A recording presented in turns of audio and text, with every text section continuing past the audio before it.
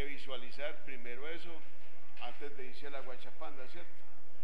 Muy bien, entonces lo que tienen que hacer es buscar los términos semejantes que son 7 más 2, 7 más 2 se van o no. Entonces, ¿qué es lo que me queda? ¿Qué queda arriba? Eso, 4t menos 9 y abajo ¿qué queda? t más 3. Ni se les ocurra dividir 9 entre 3, ni se les ocurra. ¿Sí? No vayan a decir que 9 dio 3 da 3. Ojo con eso. Ojo.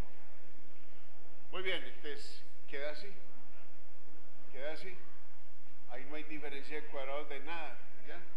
Porque t aquí está la que, a la 1,